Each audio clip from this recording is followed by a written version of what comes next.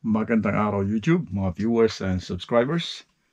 I think it's uh, about time to um, to have our capacity test. You know, kung ano talaga ang ibibigay na ating Powerball. By the way, tinanggal ko na yung grid ko doon. Wala na yung saksakan natin dyan. So, purely from uh, solar panels na tayo ngayon. Kasi ito namang pack na to, ay puno to. Papakita ko sa inyo ang ano, ang measurement mamaya. Yung uh, BMS nandun, hindi ko na siya ililipat kasi ito naman pack na to ay uh, hindi naman ganun kalalayo ang agwat nito eh. Yeah, excited ako dahil ngayon natin malalaman yung sinasabi ng moment of truth. Kung uh, worth it ba talaga yung pinagpaguran ko. So I hope na maganda yung uh, performance ng ating Powerball. I'm expecting at least uh, 5 kilowatt hour. Pag tumaas pa doon, mas lalong maganda. So measure natin about voltage ng uh, bawat pack. Okay, magsisimula ako ng sukat ng voltahe sa mula sa kaliwa papuntang kanan. Unang pack sa kaliwa, 4.21. Pangalawang pack galing sa kaliwa, 4.19. 20. Yeah? Ito 4.20. Ito ay 4.20, 21. Ito ay 4.19. I think ito yung pinaka-weakest ngayon.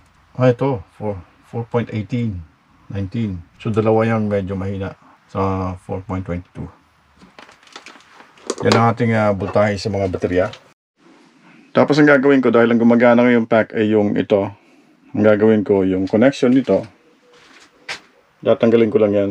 Ibababa ko lang. Kasi ko-connect natin yung positive side dito. At ma-activate na yung pack na yan. So, papatayin natin yung system. Magiging madilim dito ngayon. Okay? Kasi lahat yan, nakakonekta lahat yan sa ating power wall. Binuksan ko yung pinto. Okay, papatayin na natin yung system natin. Unang-una, patayin natin yung ilaw.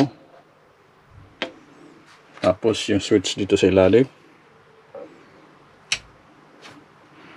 Tapos yung pinaka main switch. Tapos, uh, tatanggalin ko na yung ano, connection dito sa sa uh, positive.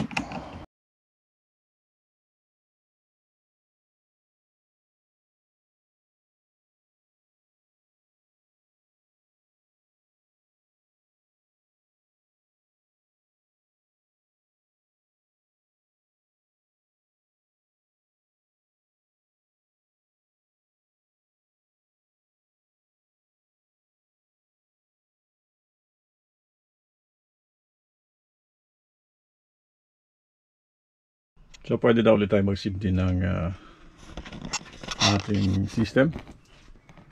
So uh, unahin natin yung switch, battery switch. Yung ano sa baba.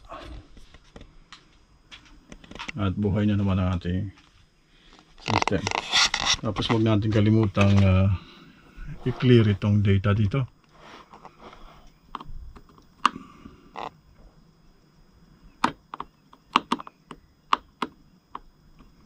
Clear natin ang kilowatt hour.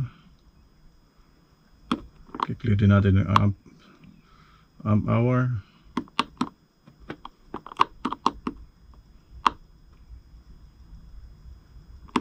Zero zero na siya. I-clear din natin ang running time.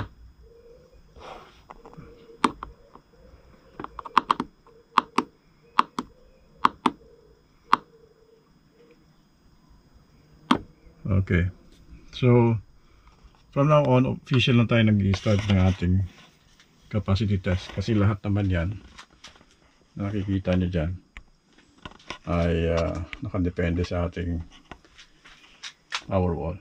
Okay, so ulitin ko, yan ay yung pack na yan, hindi na gumagana ngayon. Disconnected na yan. Ang ginagamit natin ngayon ay ito. Ang starting voltage natin ay, tapos ibababa natin ang connection natin sa solar panel naka-off na yung ating solar panel.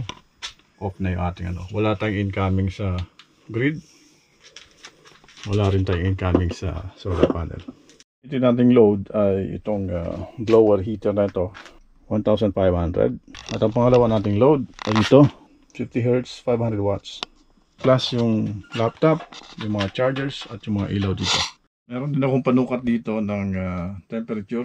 Susukatin na lahat na yung mga terminal, yung negative, positive, yung baterya, sukatin natin, yung mga joints, susukatin natin ng mga terminal every 15 minutes.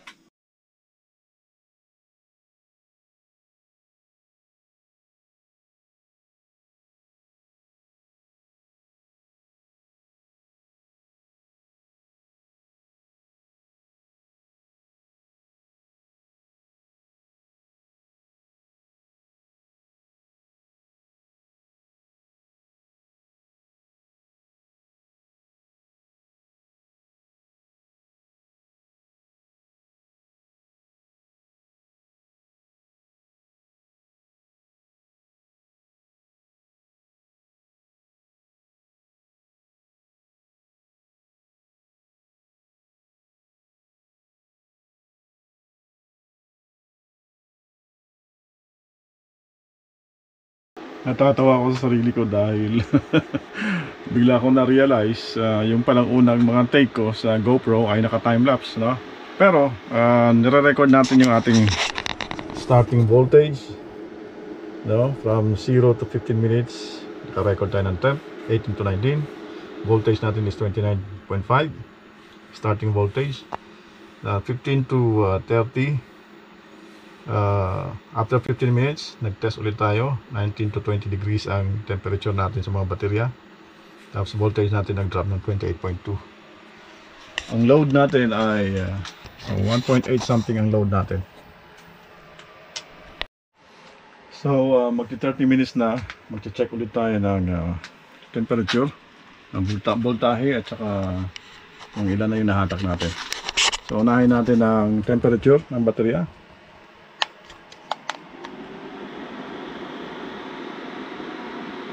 Nasa 22 Hmm. 24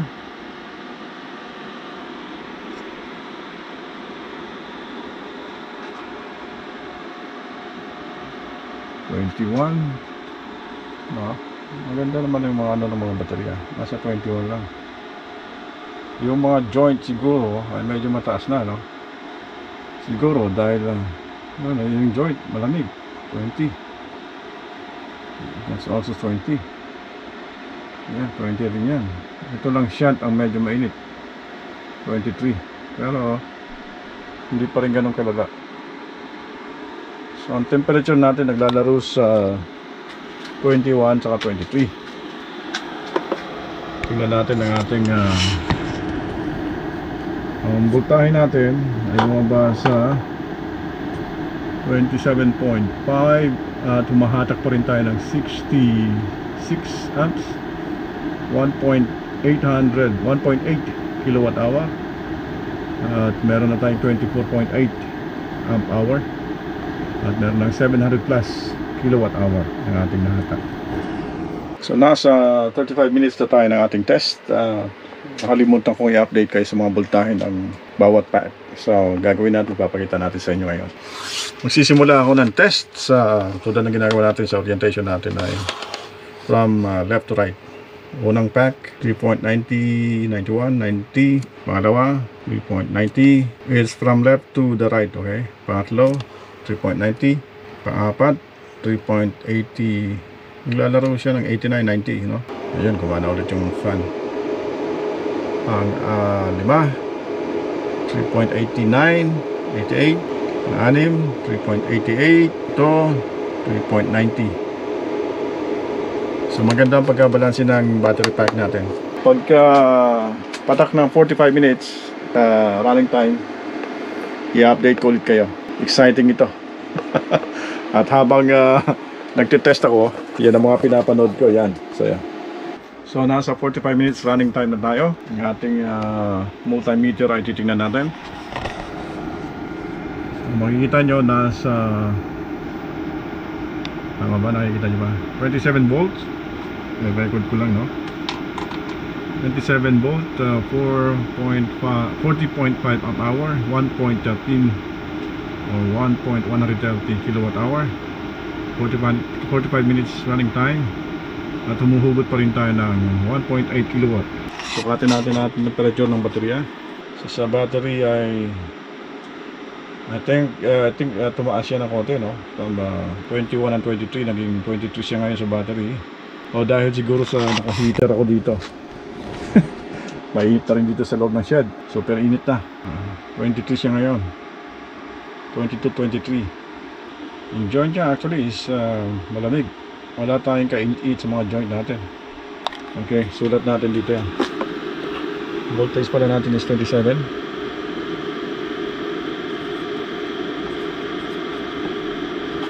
Tab natin is 23, 24. Okay. So, uh, I think tatanggalin ko na yung isang load. Yung load natin na yun, tatanggalin na natin kasi naiinitan ako dito sa, sa loob ng, uh, ng garden tool shed. okay. Hugutin ko na to. Yan. So ngayon, ang load natin ay nagiging 1.3 na lang. 49.3 amps. Umakit ang baterya ng 27.1, 27.0. Hatak tayo ng 44.3 amp hour, 1.2 kilowatt ang ating natin. Running time is close to 50 minutes. So update ko ulit kayo mamaya maya pag isang oras na. Stay tuned.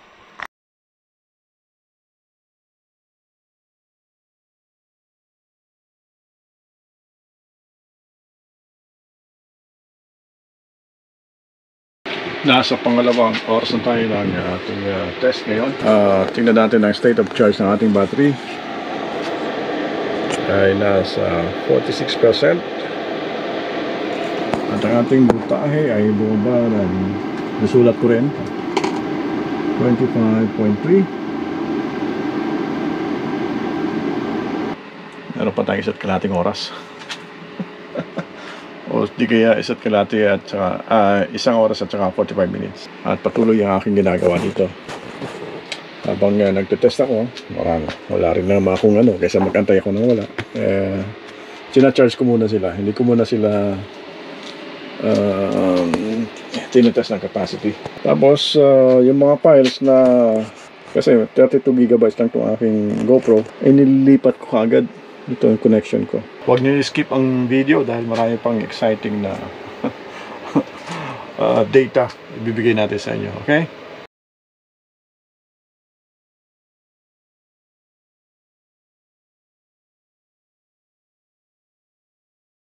Pasensya na mga viewers and subscribers dahil uh, ako'y medyo nagutom sa Garden Tool Shed.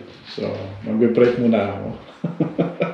magbi-midnight stock muna ako dahil ang oras ay ang oras natin ay 11.25 ng gabi. So, ako muna ay magno-noodles, hot noodles. At ito ang ating midnight snack. Instant noodles, kimchi, at kukunting kanin. Sabi ni Mrs. ay diet na daw ako.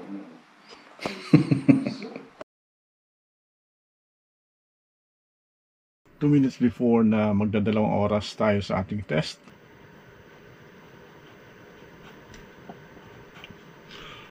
So we are now on our uh, 3 hours and 30 minutes into testing.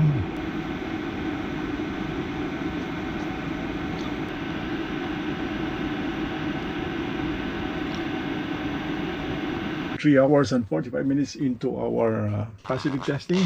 Ito ang ating na tumatambang sa atin ngayon. Inverter natin ay sinasabing 4% na lang ang ating uh, natitira sa capacity at meron tayong error na naka, nakatambang dyan. No? Sabi dito, BLV stands for Battery Low Voltage. Meron pa rin tayong tatlong bara. Isa, dalawa, tatlo. Tayo nasa pang-apat na, na oras ng ating testing at ang oras natin ay, yeah, yan ang oras natin. Alas 12.40. Ang ating uh, voltahe ay nasa 21.5 na. Ang ating amp hour ay nasa 201. Ang ating kilowatt hour ay nasa 5.15. Meron pang uh, 0.5 na ibubuga. May natitira pang isang guhit. Pero I think ito na yung uh, dito na ako magtatapos sa test at uh, mapifigure, mapifigure out yun na. You can do the math from here. Pero hindi ko na siya sisimutin Maraming salamat sa inyo pagsama sa akin sa capacity test na ito. At ang data ng ating test nasa baba.